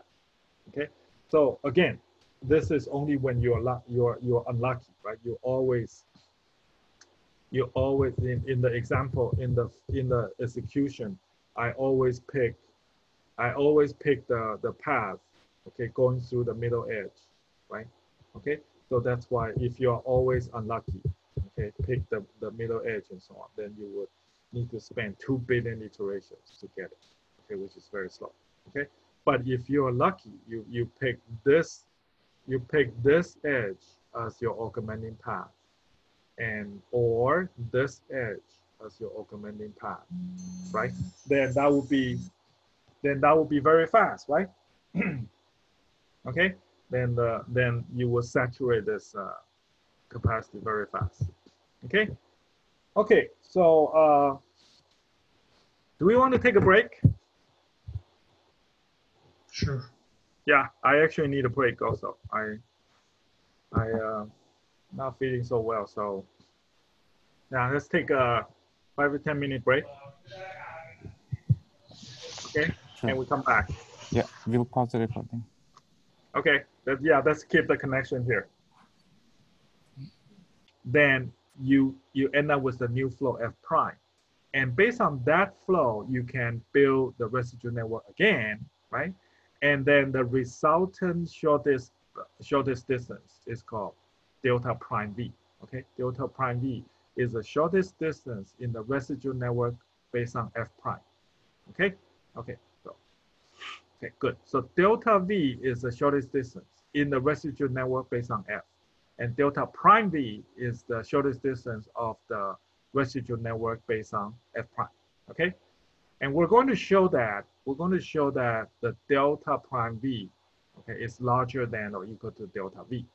Okay, because we're saying this is increasing monotonically, right? Iteration by iteration, right? Okay, iteration of what? Of augmentation, right? Okay, of the path augmentation, okay? And we're going to prove this, this is increase, increasing monotonically by induction. By induction on this number, okay? On the delta prime V, okay? We're going to induction on the delta prime V, okay? All right, so now, okay, so after the path path augmentation is done, right? Okay, okay, we, we're going to look at the look at the new uh, shortest distance. Okay, now let's look at the base case. Okay, the base case when the when the uh, v when the v itself is equal to s. Okay, then the delta prime s. Okay, s to s, right? Remember the we the delta delta function is is what is the shortest distance from the source node to the node you're interested, right? So source to source, of course, is zero, right? Source to source is equal to also uh, uh, so before the path augment, uh, augmentation, okay, from source to, to source in in the uh, residual network before the augmentation, okay, is also equal to zero, right? because source to source in whatever network, whatever net residual network, okay, the distance is zero. Okay, so zero is greater than or equal to zero. So this property is true. Okay, so that's our base case of induction. Okay, okay, now so base case is, is proved. So we're going to prove the induct in the inductive case. Okay, all right. So let's consider a, a breadth search path. Okay, in the in the residual network after the augmentation. Okay, suppose there is a breadth search path, okay, shortest path from S to U and to V in the residual network after the augmentation. Okay, then because this is the shortest path, therefore we have delta prime V is equal to delta prime U plus one, right? Okay, remember this is what we we have been using this for a long, long, long time, right? The, the first lecture about the shortest path okay? I, I, I emphasize to you that right there, that along the shortest path, okay, along the shortest path, if you have a shortest path from S to U to V, right, then the, then the delta V is equal to delta U plus one, okay? Because of the optimal substructure. S to U, okay, is also a shortest path, right? Remember that? Okay, so we have uh, this as a corollary of that observation. Okay, if you don't know what I'm talking about, uh, which you should, then you, you need to go back to the first lecture of the shortest path, okay, to retrieve this. I think this is the first three or four uh, uh, slides, okay, that tells you this, okay? So because this is the shortest path, okay, therefore delta prime V is equal to delta prime U plus one, okay? All right, and remember, this this is the after the path aug uh, augmentation. Okay, after one iteration there. Okay, okay. Now, certainly, okay, certainly you, we, we said this U to V, this U to V is in the residual network after the augmentation, right? So this edge must be in there, must be in this residual network after, after augmentation. But what about the same edge be in the residual network before the augmentation, okay? The residual network before the augmentation, okay? Is it part of it or not, okay? Then there are two cases, okay? The first case is that this edge UV is in the residual network before the augmentation. It is there, okay? Then we have the following, uh, we have following conclusion, okay? All right, we said that if UV is in the residual network of the uh, is in the residual network before the augmentation. Then delta V, okay, the shortest distance from S to V must be upper bounded from S to U, shortest distance plus one. This is triangular inequality, okay? Okay, because the, the S from S to U plus U to V, right? That is also a path, right? And that path length is equal to delta U plus one. And since delta V is the shortest, therefore delta V must be smaller than that, okay? This is triangular inequality, okay? And then now delta U is smaller than delta U prime. So this is our induction, okay? This is our induction, okay? Because delta U prime is smaller than, uh, delta U prime is smaller than delta, uh, sorry, delta prime U is smaller than delta prime V. Okay, so this, this can be applied, okay, due to the induction. And we, we already know delta prime V is equal to delta prime U plus one. Okay, therefore you, we establish delta V is smaller than or equal to delta prime V. That means after one pass augmentation, your delta value gets increased. Okay, so for the first case, okay, this monotonicity has already been proved. Okay, it's increased. Okay, now the second case is that this edge UV, okay, was not part of the residual network before the augmentation. Okay, if it was not. Okay, all right, and however, however, we said that UV, okay, since UV is is in the residual network after the augmentation right? After. It is not there before, okay? But it is there after, okay? Okay, you need to think about this. If there's an edge that was not there in the residual network before a pass augmentation, and then after that pass augmentation, this edge starts showing up, okay? What would be the only possibility, okay? The only possibility is this. In that pass augmentation, okay, the augmenting path, okay, the augmenting path must include this edge VU. Okay, the augmenting path, okay, the augmenting path that uh, that produce from that produce uh, this this uh, F prime, this new flow from the original flow, okay, must have gone through this VU. Okay, okay. So since this augmenting path goes through VU, okay?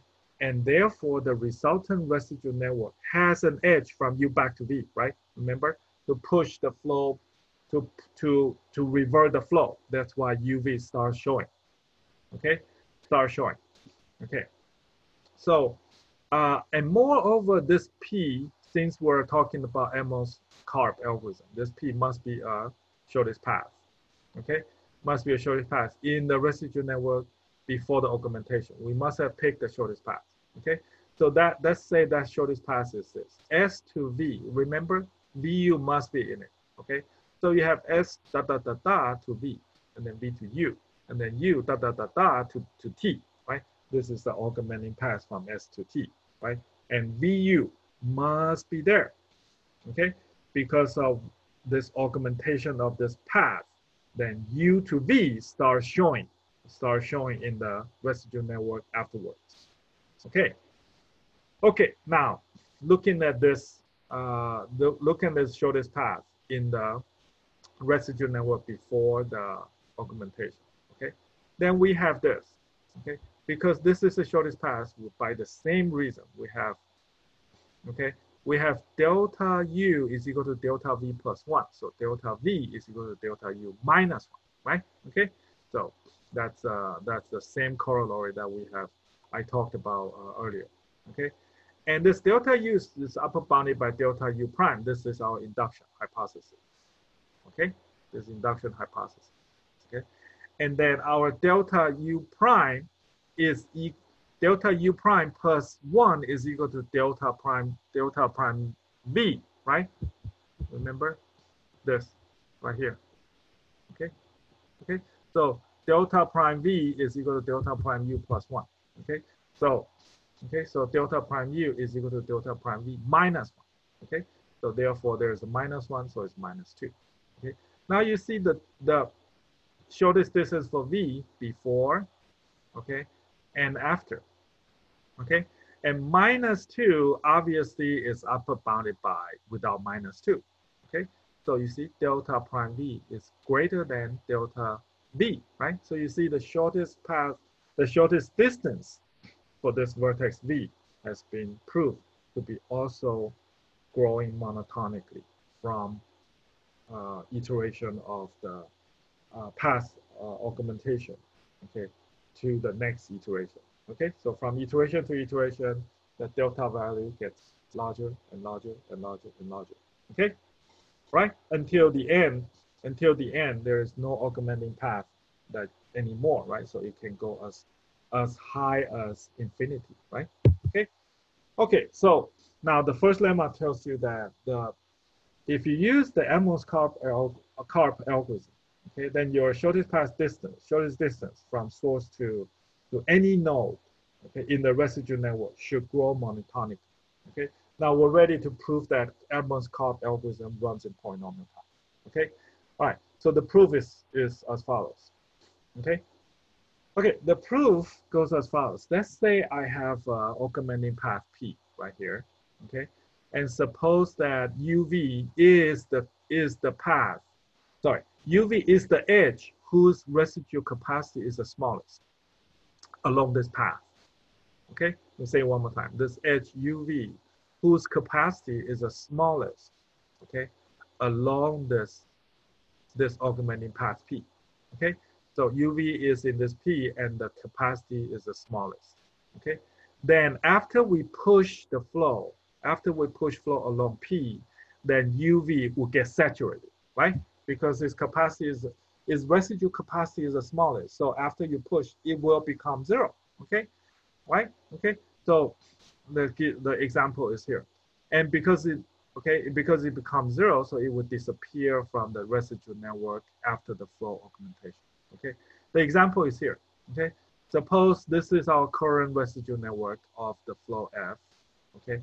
from S to T. This is just a part of the part of the residual network. I just drew the this part okay, to show you. In general, the residual network could be much bigger. Okay, so suppose we so we choose this as an augmenting path, right? Here to here, here to here, here to here, here to here, here to here. So this is our augmenting path, right? And we have uh we have uh, this residual capacity two, four, seven, two, three, right? So the, so the largest amount of flow that you can push through this path is bounded by two. You cannot do more than two, right? Okay. So after you have pushed the full amount of two from S to T, this edge is saturated and this edge is saturated, right? We call them critical, okay? We call these two edges as critical, okay? So you see, after we push, right? Okay, then the original, this is four and seven, now becomes two and five, right? Because you, you, you have pushed two. And this was original two, now it's zero. And this was original two, now it's gone, right? And this was three, now it becomes one, right? Okay, and then the original, this reverse side is three. Now because you push two more, so the so the reverse can be five now, okay? And then same thing, the reverse is two. Now you push two more uh, from left to right. So the from right back to uh, left can be four now, right? And this is two, this is from one to three, this is from two to four, right? See, one to three and two to four, get it? Okay, so yeah, so you see, these are, the, so these two, okay, these two edges in red, okay, are the so-called critical edges, okay, in this path augmentation, okay? Okay, now let's let's look at these uh, critical edges. Okay. So we're going to look at we're going to look at uh, uh, arbitrary edge. Let's just take an edge UV. Okay. Let's just take an edge UV right here. Okay. We take an edge UV, and we think about the first time. Okay. The first time this UV becomes critical. Okay. That means this UV is on the residual network. Okay. And and it, it is the uh, it is the smallest. The residual capacity is the smallest. Okay, so after you push, then this would disappear. Okay, okay, and now, at the time, at that time, this becomes critical. You must have chosen a uh, uh, augmenting path that goes through UV, right? Obviously, you must have, you must the the augmenting path must go through it. Okay, and the, remember, Edmonds and Karp uses shortest path, right? BFS to find the augmenting path. Okay, so UV must be on the shortest path, right? Okay, therefore we have a delta V is equal to delta U plus one, right? Again, that that corollary you can find in the first, uh, third or four uh, slides in the shortest path lecture. Okay. Okay, so you have this relationship. Delta V is equal to delta U plus one. Okay, because P is the shortest path. Okay. All right. Now this is the first time. This is the first time this edge UV becomes critical. Okay. Now think about the same edge could become critical again. Okay from the first time it was critical, it was critical to become the critical again the second time. Okay, to become critical again the second time. All right. Then you need you need to think about between this first time and the second time, right? We must, okay, we must have gone through, we must have gone through an augmenting path. Okay, okay, we must have gone through an augmenting path that actually goes through VU okay, that actually go augmenting path that actually goes through VU, okay? And then after you augment the flow using this augmenting path, then UV will reappear, right? Right? So you must have a, you must have uh, use an augmenting path to push flow from VU, right? Then UV will reappear, and then will become, could possibly become critical again, right?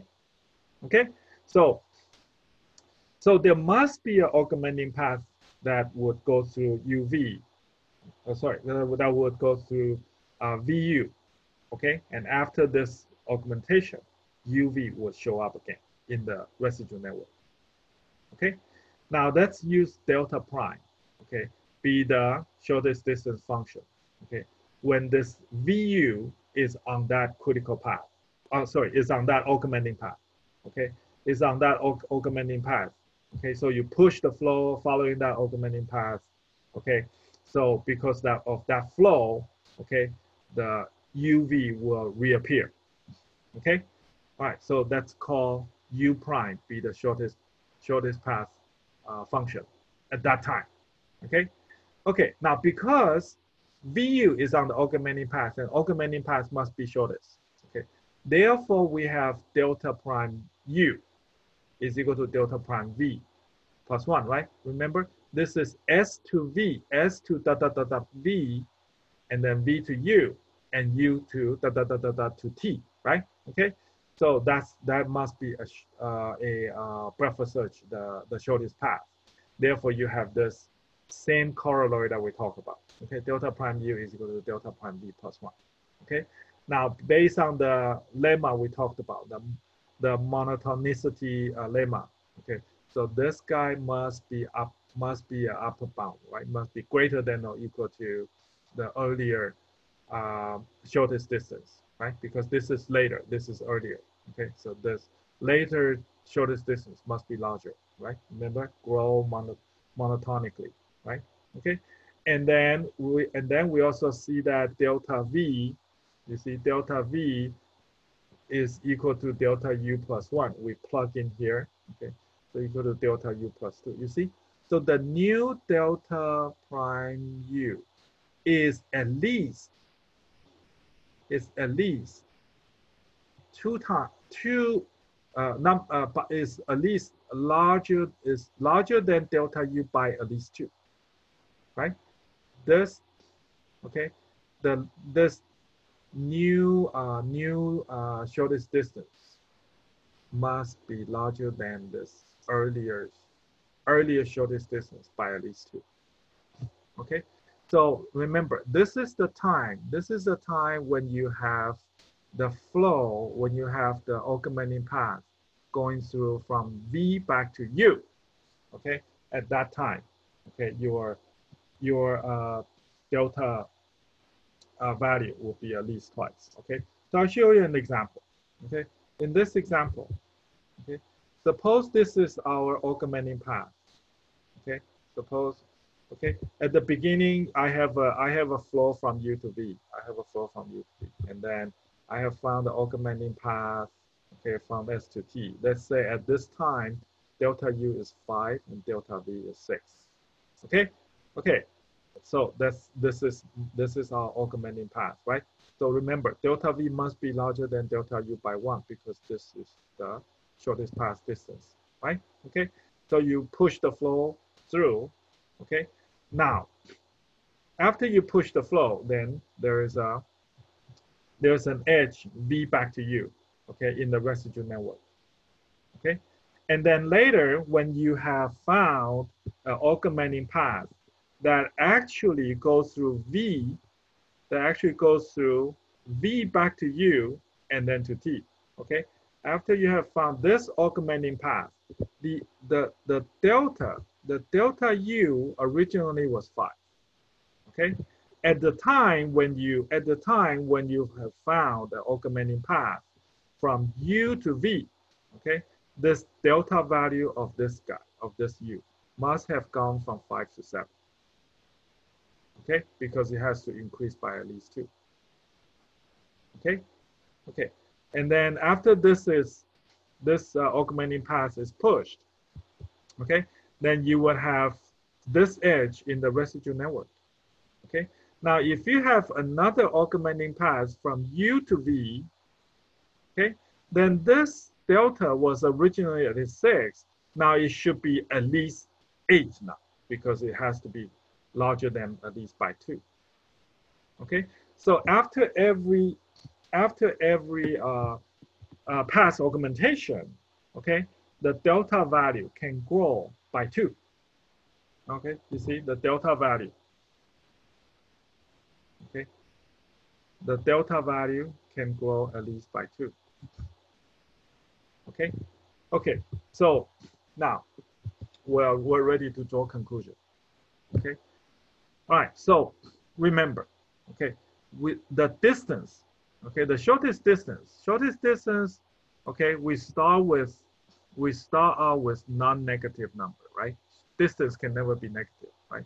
Okay, and then remember, in the residual network, the distance will only grow because of mon monotonically, right? Well, oh, monotonicity, remember that lemma, it never decreases, okay?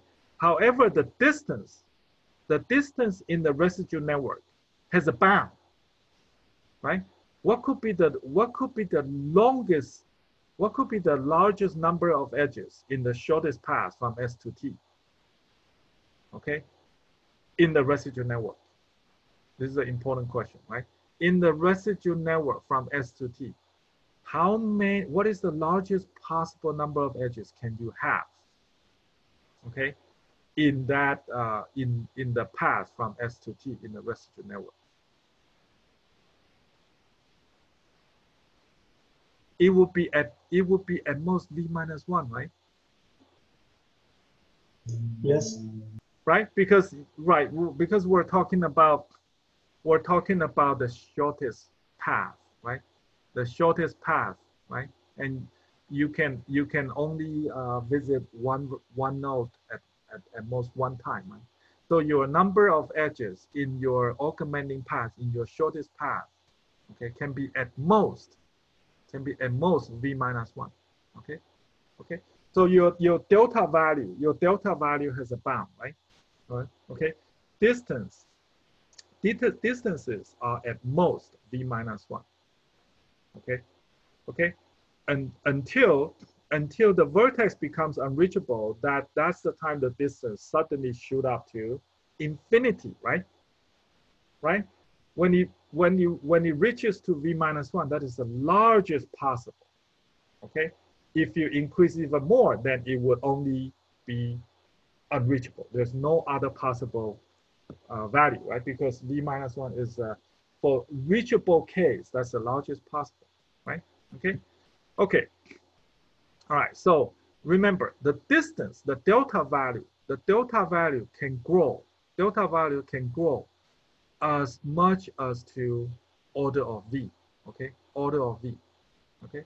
And remember we earlier we said that each time an edge, okay, becomes critical, okay, becomes critical, the delta value will need to increase by at least two, right? Remember the previous the previous uh, the, the, the previous observation here. Has to be increased by at least two, right? Okay, okay, so, so, but the largest possible delta value is V. The largest possible delta value is V. Therefore, the number of times each edge can become critical, okay, can become critical is order of V, right? Okay, let me say one more time. Each time, each time a vert, uh, edge UV, each time an edge UV becomes critical, the delta value will need to increase by two, at least increase by two. And the delta value has a bound, which is at most V, right? Okay. Each time an edge becomes critical, you need to increase by two. And the largest possible delta value is at most V. So the number of times this edge becomes critical must be at most V divided by two, right?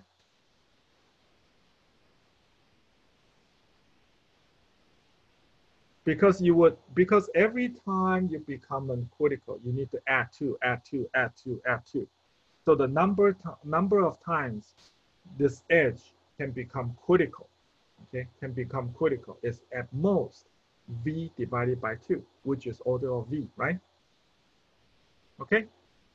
Are we okay on this? Uh, yeah, Professor, it would be really nice if you if we can uh, you know, put this Edmonds-Karp onto the example that you gave before the 10 billion. Okay. No, no, no, no. Okay. Okay. Okay. So, so let's look at this. Okay. All right. So for this edge UV, okay, for this edge UV, you see that, okay, I'll show you an example. So, okay, so at the beginning, okay, at the beginning, this edge, sorry, uh, okay, my cursor is here, okay. At the at this at this time, okay, suppose this is the time UV, okay, UV is on the on the augmenting path, okay, and now with this with this path augmentation, okay, this has saturated, this has saturated, so it will be gone, right? Okay, after you push, this will be gone, okay? So suppose at that time, this is five and this is six, okay? Five and six, okay? Now, after you have pushed, this is gone, okay? So you end up having this edge back and there's no, there's no edge from U to V because it's already saturated, okay? Now, next time, okay, in order to have UV back to, back to be critical, you need to have augmenting path, okay, that will go from V to U, okay? Okay, go from V to U, okay? Now, at this time, when you have such a case, your U, your U's delta value must have already gone from five to six, at least seven, from five to at least seven, okay? From five to at least seven. And then after this push, okay, after this push, then UV comes out again, okay? UV comes out again. And then you would have chance. That's the time you have a starting having a chance that UV will become critical again. Till the time that UV becomes critical again, the second time, okay? The second time, you see, V, at this time, V, the, the delta value of V would need to go at least from six to eight. Okay, so from so to summarize, look at look at this comparison. At the beginning, this is the this is the time that UV. This is the time that UV becomes critical. Okay, and after augmentation, it disappears. The delta value is five and six. Okay, five and six. Remember that. Now this is the time that UV shows up again and becomes critical and augment. So delta U will be at least seven and delta V will be at least eight. So they will need to grow. Both, both show this short delta, delta value for U and V has to grow at least by two, okay? The delta value has to grow at least by two. Get it? Are you okay on this now? Okay, for any edge, for any edge UV, from the, from the time that it is critical to the time that it is critical again, both U and V, their delta value have to grow by at least two. Okay, you understand this part first. I have I have shown you here. Okay, now if you agree on this, okay, then we're we're on this page to try to bound out. Okay, all right. You remember delta value can be as high as V. Okay, delta value can be as high as V. Okay, now for each edge UV, okay, to go from being critical to uh, to critical again, okay, their delta value, their delta value has to increase by at least two. Okay, the delta value has to increase by at least two for both U and V, right?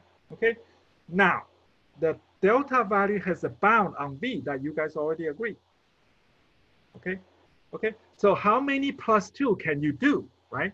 How many plus two can you do so that your delta value is still bounded by order of V? That's the question, right? You, you, each time, each time of being critical, you need to plus two for your delta value, okay? Each time to be critical, you need to plus two. The largest possible delta value is V, okay? So how many times can you be critical? Right? So that's how many times you can plus two, plus two, plus two, right? Right? How many plus two, plus two, plus two you can do until you reach to the largest possible, which is V, right? How many? V divided by two, right? Yes. You can have at most so many, at most so many plus two, plus two, plus two, right? Okay, so each plus two each plus two, you have one, you have the, you have that edge to become critical, right? Okay, okay, so that edge, that edge to become critical will be bounded. How many times that edge can become critical? It's at most V divided by two, right? At most, right? Right. Right, okay? So for each edge, for each edge, to become critical. Okay, they are totally only V divided by two times. Okay, okay, they're totally V, v divided by two times. So the entire residual network, okay, the entire residual network has at most two times E edges. Okay, each edge can have at most V divided by two times to be critical. Okay, they are totally E edges so totally, how many times there is an edge to become critical? It's E times B, right? Okay, let me, let me, let me, maybe I should just do this. Uh, I, I can, maybe I should just write it down. And Okay, so you see, I have one edge, okay? One edge, I can have at most order of V by two okay, to be critical, right? Okay, for every for any edge, for any edge, okay, for any edge, this edge can be critical on at most v divided by two times. Make sense, right? Okay. Now in the residual network, in the residual network, okay, in the residual network, there are totally two times E edges. Residual network has at most two times E edges, right? Okay, okay, there are at most two times E edges. So each edge can be critical at most so many times. Two times E edges, okay? Okay, you can have at most what? At most two times E multiplied by divided by two, okay? there will be at most so many edges, okay, that can become critical, right? Right. And and each critical, okay, each edge to be critical, there must be there must be one augmentation, right? Right? I mean, I'm okay. I'm sorry. I should say the, the opposite. Each augmentation each augmentation, there will be at least, there will be at least one edge being critical, right? you will saturate at least one edge, right? Makes sense, Right. right? Okay. Each each augmentation, you would have at least one edge to be critical. There are totally E times, there are totally E times V, so many possible edges to can become critical. Okay? These are the total possible edges that can become critical over the over the whole process. Okay?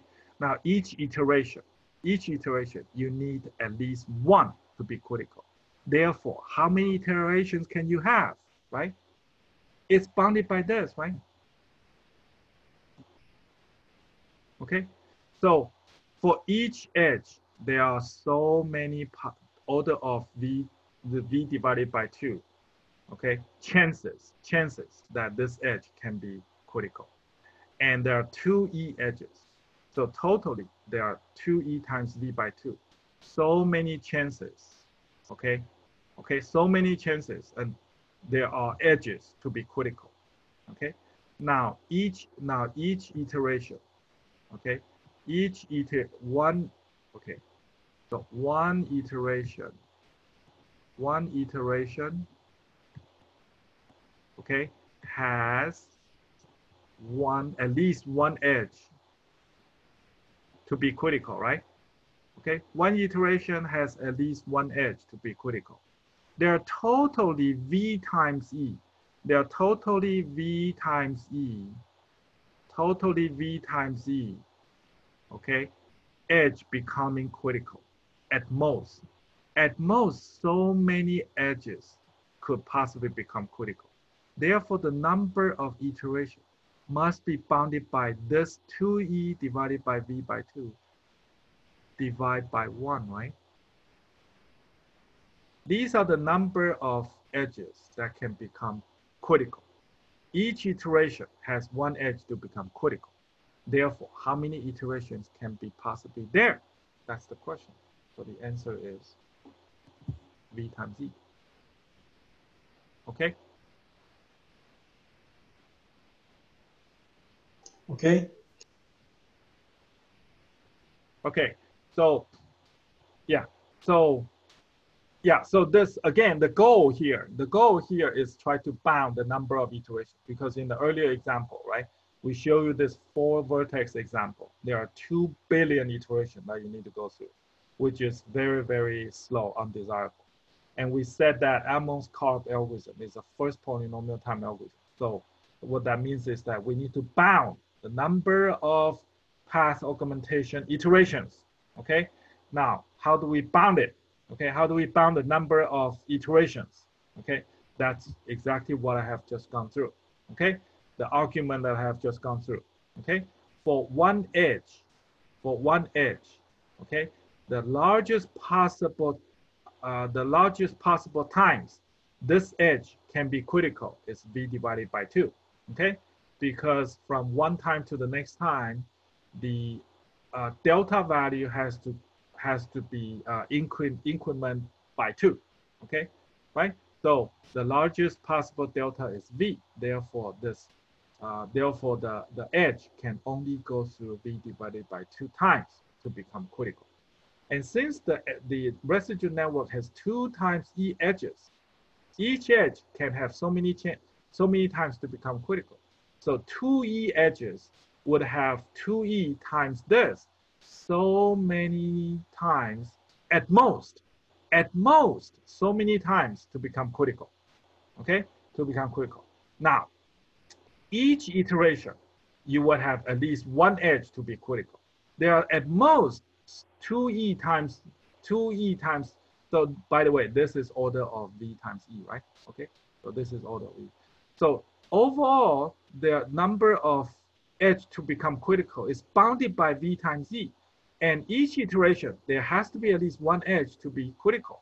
So how many iterations can you have at most? That's the question, right? So it's v times e. Okay, the number of edge being being critical is bounded by v times e. The number of edges to become critical is bounded by v times e. each iteration require one edge to become critical. So the number of iteration must be bounded by v times z. Okay, so that's the that's the uh, that's the conclusion. The number of iterations, okay, flow augmentation iteration must be bounded by e times v times z. Okay, I think that's uh, that's uh, clear enough. Otherwise, I would be repeating myself. Okay. Uh, Yes. Okay, okay. So now remember, this is just the number of iteration. And each iteration we need to call BFS, which is order of V plus E, right? So VE, VE times V plus E, therefore is upper bounded by VE squared. Okay, so Edmonds-Karp algorithm, okay, runs in VE squared. Okay, VE squared, which is pretty slow. Okay, right? Simply because the the the breadth-first search takes order of e, right? Okay. All right. So so VE times E, so VE squared. Okay. So it's pretty slow. Now this is the last page. Okay, of this uh, maximum flow algorithm. Okay. All right. So the uh, the the the best the best known algorithm up to date for maximum flow. Okay, runs in this V very complicated uh, complexity, right? Okay, VE times is it's uh, so instead of VE square, it's VE times this. So improvement is is that uh, it, it it it took it takes out E and replaced by this guy. Okay, and uh, now if we allow the runtime as a function of the edge weight, okay, okay, as a function of edge weight, uh, uh, so so this uh, uh, the the earlier the earlier algorithm right? The uh, can't remember the name uh, which I should. Uh, right? Ford Fulkerson right? So Ford Fulkerson okay if you allow if you allow the edge weight as your as part of your runtime complexity right? Ford Fulkerson is one of them right? Okay then the fastest algorithm for maximum flow is done by these two. Okay, Goldberg and Rao. Okay, they they can run in this time. Okay, you see this C. C here is a capacity. Okay, as part of the as part of the uh, your runtime complexity. Okay, the maximum capacity. Okay. Professor, Okay. previous page, how come it became VE plus E, V plus E times VE become VE square? Uh, sorry, which one? Uh, Go back here. Yeah, so VE square, I mean, it's BFS times VE, right? So it's V plus E times VE. Yeah, and yeah, usually, yeah, yeah, yeah, yeah, yeah. So usually, uh, usually you consider E. Usually you consider E is uh, uh, yeah. When you when you consider E uh, is what? Uh, sorry, uh, is is uh, is at least is at least order of V. Usually, right? it's it's not always true, right? It's not always true, but but when your edge, if it is a connected graph, if it is a connected graph, then then this is the this is true, right? Okay, okay. Yeah, yeah, yeah, but you're right. To be more careful, E can be can be uh, it can be smaller than V actually because it could be disconnected. Okay, so but but here we're just assuming that uh, it is a connected graph, so E is at least the order of V. Okay, so you drop you, then you can drop V when you have V plus E. Okay, okay. Anything other than this? We only have. Uh, uh 20 20 more minutes. I i don't i actually prepared uh for the next lecture but 20 minutes i don't think i would be able to finish it. So so that's that's just uh, end here. Okay. any question? Okay. So for the lecture we just talked about maybe this is the slide that would be a little bit uh, harder to to but if you sit down uh, and read this uh, and think about what I just explained, okay, uh, then it, it is not uh, it is not that that uh, deep of thinking to, to to figure it out. Okay, it's just a matter of it's the, for this is is is uh, is counting, it's just counting.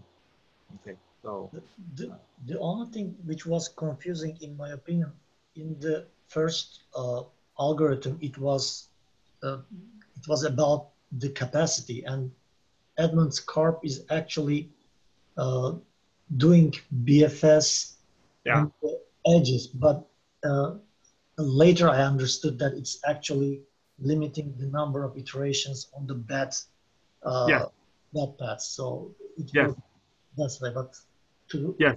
make that bridge is was was hard for me. Yeah, yeah, yeah. So if you don't if you don't use breadth search, then the number of iterations will not have this bound anymore. So you so you could end up having the the problem like uh, like this. Uh, 10 billion. yeah, yeah, yeah, yeah, yeah. 10, 10, 10 billion example. Yes. Okay. So, okay. Any other question?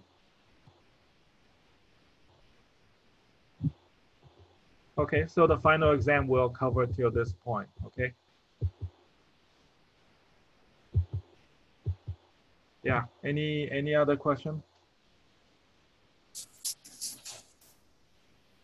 I will upload Professor uh, this one too and share the link. The previous one I already uploaded. The recording. Okay. Okay, the, I see, I see, the, the recording. Yep. Okay, In case somebody missed it. Yeah, yeah, yeah, I should have, uh, yeah, I should have, uh, uh, broadcast the link so that people can, uh, follow through the, the recording.